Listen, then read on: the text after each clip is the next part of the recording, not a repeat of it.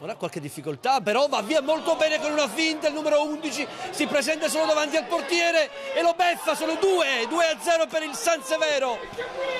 È stato Monopoli a beversi Paviglianiti e Chiariello con una finta e a raddoppiare per il San Severo clamoroso.